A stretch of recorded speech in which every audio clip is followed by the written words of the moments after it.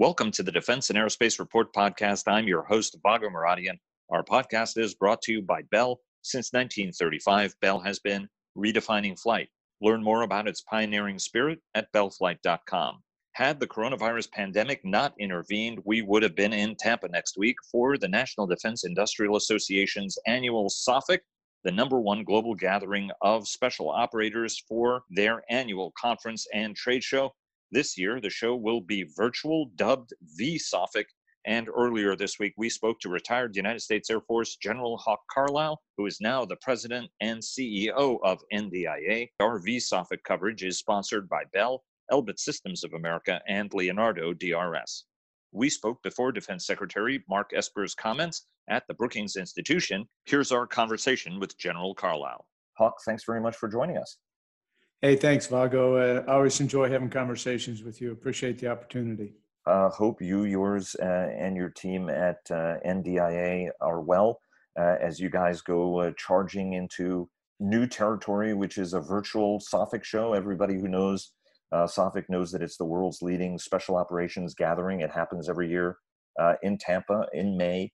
unfortunately, because of the COVID pandemic, you guys are, have had to reschedule that, or, or rather, keep it on track, but do it virtually as a V SOFIC. Talk to us about the decision to delay the, the physical conference, how you guys are actually trailblazing to try to make as big and as productive event as possible for the folks who otherwise would have been there physically. Well, thanks, uh, Vago. Appreciate it. So clearly, the decision to cancel SOFIC was a difficult one because it is so important. It's so important to industry to get face to face and uh, personal time with uh, decision makers inside of the U.S. Special Operations Command and uh, you know partnerships between industry members, small and large. It's just really important. Um, but clearly, the most important thing is the health and well-being of all our industry members, all of our special operations members, is to really make sure that we uh, we we take care of their health and safety. So, given the challenge that we're in right now, it was kind of a you know this we we have to do this. But again going back to the importance of uh, bringing folks together to uh, and this year's theme for SOFIC is expanding uh, the competitive space and, and to continue to get better and better at what we do we really felt like we needed to do something uh, to still bring them together but to do it in a virtual uh, manner so we worked very closely with SOCOM, and I give huge credit to Jim Smith and, and uh, General Rich Clarke, the commander of uh, Special Operations Command, and a ton of credit to my team. I, I got to tell you, they've been outstanding. And in particular, Christine Klein, who is our senior vice president for meetings and divisions,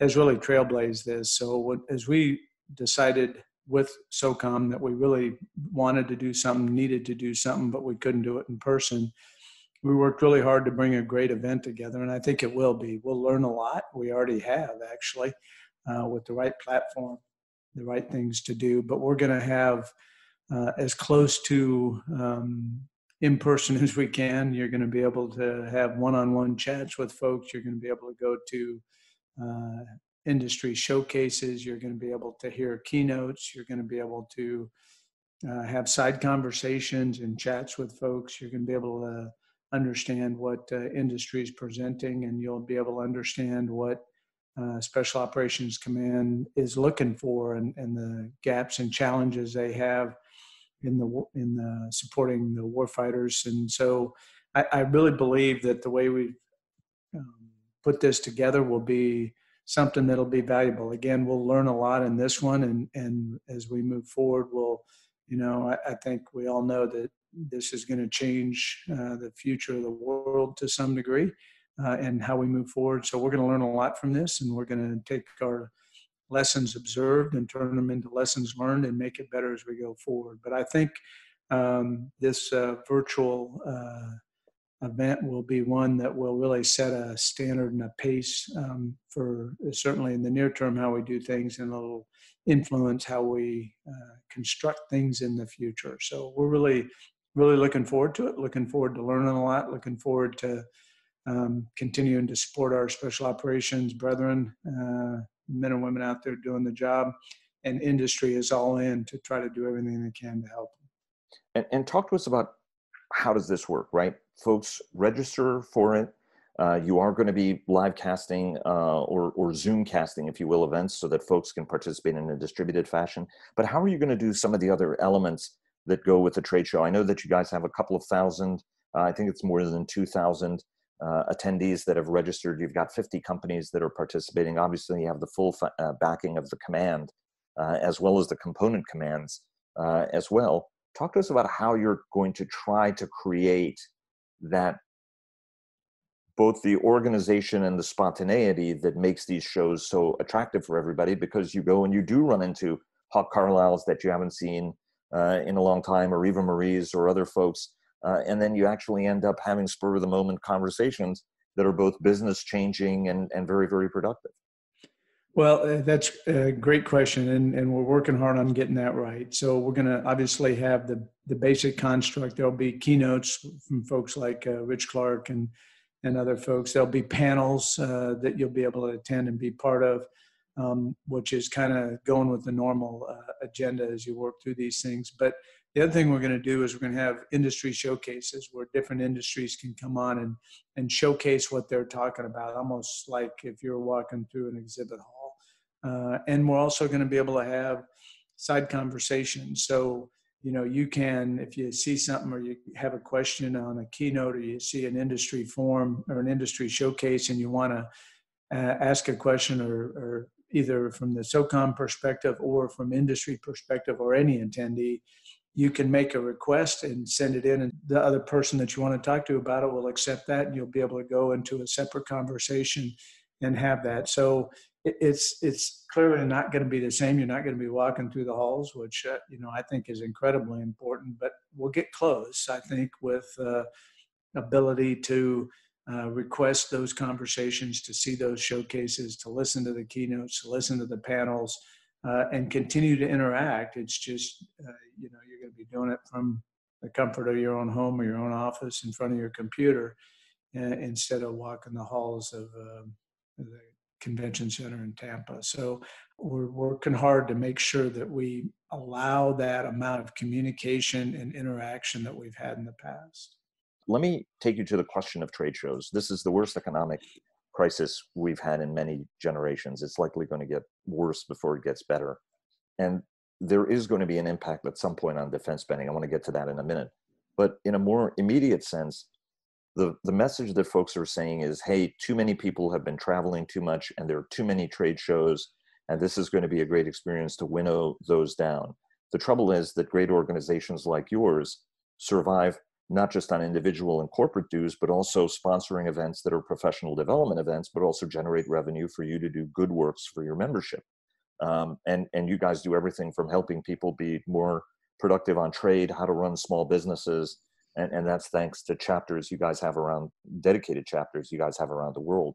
Any sense at this point hawk on how this is going to affect a, a critically important business for everybody in the ecosystem whether you're an exhibitor an attendee or even a news company that you know survives on sponsorships to cover the events yeah, so I think that's a, a, great question. So we do know that it is going to affect it, and certainly in the near term to midterm, it'll have an effect. But I, I would tell you, I would caution to jump to too early of a conclusion uh, that it's going to that trade shows are going to cease to exist. I don't think that extreme is going to happen.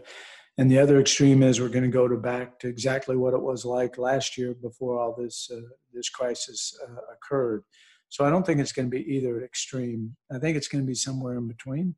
And I, I, I would caution us to jump to too early conclusions. So we're learning from this. I, I do believe that maybe there there were too many uh, travel, uh, airline flights, travel, uh, hotel reservations, uh, and per diem for a one day event um, didn't make sense. Maybe uh, so I think we'll learn a lot from this, and it will change as we come out the other side. I, you know, I mean, if you say, if you remember 9/11, people said nobody's ever going to fly again. Well, they do, but we just changed the environment. You know, it's just we fly differently than we did in the past, and I think the same thing will happen. But I, I do believe also that um, personal interaction, face to face. You know, one of the one of the comments that some people used to make is virtual presence is actual absence, which is not entirely true, but there's a, um, a kernel of truth in there. So I, I do believe right. that um, there will be uh, there will be trade shows in the future. I do believe there will be fewer. I do believe that it will be um, probably a hybrid or an, an, something different than we've done in the past. What we're looking at at NDIA is uh, maybe shorter ones being all virtual, uh, longer one or virtual and in person. If you happen to be in the location, you can go in person. Mm-hmm. A hybrid where you do a good portion of it uh, virtually. You have a lot of you offer a lot of people the ability to attend virtually, but you also have uh, decision makers and key players in actual attendance. So they're smaller, but they're uh, just as impactful, and you end up having even more people because you can bring more people in virtually. So I do think that it will affect how we go forward. I think uh, we at NDIA are working hard to learn and, and observe and and push the envelope and try things. VSOFIC being one of them, and I think we'll uh, we'll come out of this on the other side and we'll adapt, evolve, and NDIA will continue to be the leading defense industrial association in the world and we'll figure uh, we'll figure out how to do this best to meet our members needs as well as industry needs and as well ultimately what our goal is and that is to make sure that those young men and women do the mission of our nation have the equipment the training and the capability to do the mission we ask them to do. So it's going to change things but we'll learn from it and we'll adapt and evolve and we'll be even stronger on the other side um, I, I, have to say I, I love these events. It's a great opportunity to connect with people, and I am under no circumstance trying to make an argument um, against those. Uh, you know, the the live event and and the travel and the benefits that uh, that everybody uh, get from it. But it, it, it is just a question that's come up in virtually uh, every interview uh, we've done.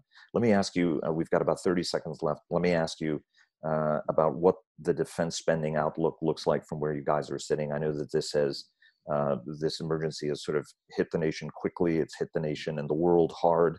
Um, there are nations now that are struggling with stimulus. We're one of the nations that has directed trillions of dollars to that, including trillions of dollars in lost uh, anticipated tax revenue. Any sense at this point about how the defense budget is going to be impacted? Because we do see impacts in other countries and for many it's only a matter of time before it materializes here as well. Yeah it is going to impact our defense budget. I, I, think a couple things. We thought prior to this occurring that the, the prediction was defense budgets would be flat in the united states. Uh, i think that is hopeful now. It's probably a little bit um, harder to predict.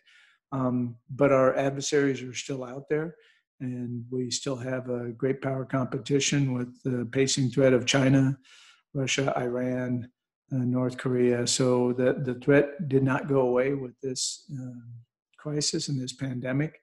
Um, but, you know, the other half of the discussion is our economy, the United States economy, is an element of national power, and we have got to understand how to deal with and, and uh, reduce the deficit that our country has. So, spending is going to be a factor. Um, uh, and so we're going to have to be smart about it and we're going to have to figure out exactly as a nation uh, what those critical threats are and how we're going to pose them. Uh, but I think, you know, the national security of this nation is, you know, as they say, the only thing that's more expensive than national security is not doing national security. So I think, uh, uh, bottom line is, I think budget's flat uh, in the defense realm uh, more smarter use of our dollars, how we do them, is uh, the way that I hope it goes. There's a potential that it could actually have slight decline, but again, I think it's too early to make those calls. Hawk, thanks so much again for joining us. Really appreciate it. Best of luck to you, your team, uh, as you guys uh, try to blaze uh, a new trail, and we're uh, looking forward to being part of this great new endeavor. So, thanks for joining us. Hope you, yours, and your team stay well. Thanks, Vago. As always, it's great talking to you, and please take care of yourself. Thank you. Thanks for joining us. Please follow our daily interviews with top government, military, industry, and thought leaders at Defense and Aerospace Report, and subscribe to our weekly newsletter. Follow us on Twitter at DefAero Report. That's at D-E-F-A-E-R-O Report. Like us on Facebook at Defense and Aerospace Report, and check us out on LinkedIn. Check out our weekly cyber report sponsored by Northrop Grumman and our broader Navy coverage that's sponsored by Fincantieri Marinette Marine. Thanks again to Bell for their generous sponsorship, and we'll see you again tomorrow.